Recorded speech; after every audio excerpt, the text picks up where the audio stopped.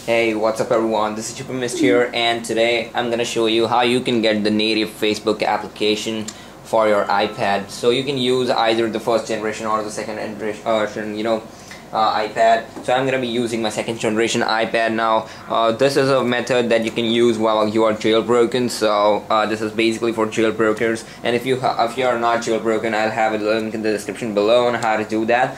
So as I'm already jailbroken, I'm gonna go ahead to Cydia, and the first thing you need to do there is uh, go and download an iFile. So uh, let's go and search for iFile right here. So I'm gonna be going and uh, searching for iFile.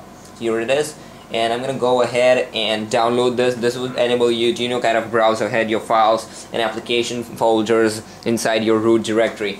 So you can just go ahead and download that up. So uh, I'm gonna just uh, wait for it to load down. I'm on 3G right now so you can use anything right here. You know you can use uh, either for the uh, Wi-Fi or 3G I'm gonna go ahead with uh, using 3G here. And uh, well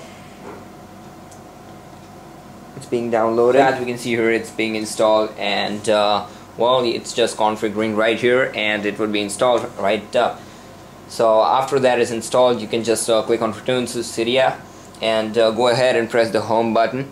So you're out of Cydia and uh, now what you need to do is go to iFile but before that you have to download the Facebook application itself. So you can just go ahead in uh, the App Store and go ahead and download the Facebook for the iPhone app so I'm gonna go ahead and search for it. So Facebook and here it is. So uh, I'm gonna go ahead and search for it. As you can see here this is the Facebook for the iPhone app.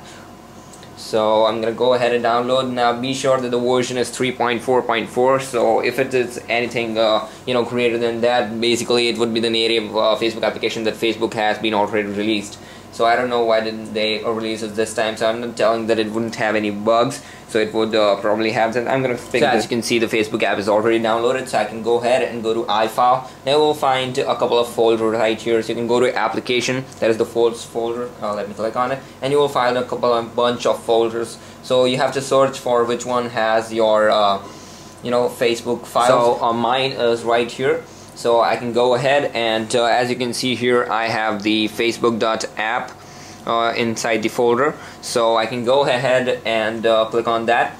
And uh, as you can go down you will find a couple of series of things.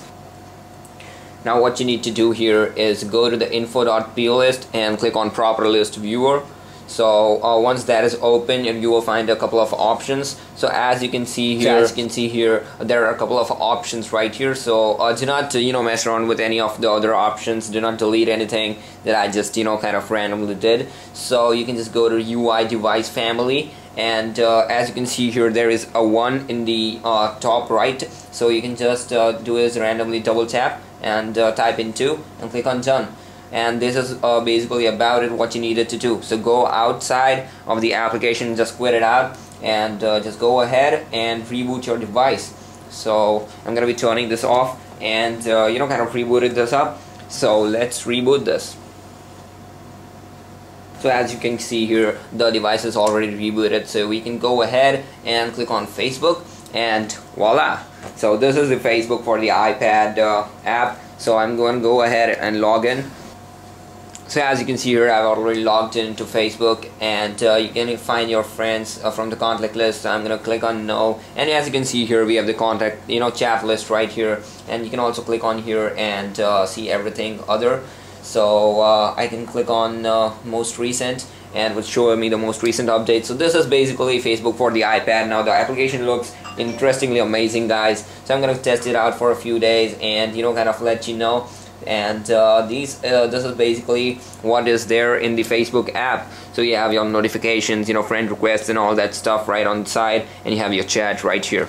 So uh, this is Facebook for iPad guys. So I'll be having a link in the description below with the you know kind of steps uh, to follow up if you want the same application running on your iPad. If you're jailbroken or non-jailbroken and uh, again guys thank you for watching the video. Do remember to subscribe to the channel by clicking the subscribe link above this video and thumbs up the video for the new Facebook uh, iPad app. And uh, guys it's been always been ChipperMist here. Do remember to follow me at Twitter at twitter.com slash and also like my Facebook page at facebook.com slash and until next time I will see you guys later. Peace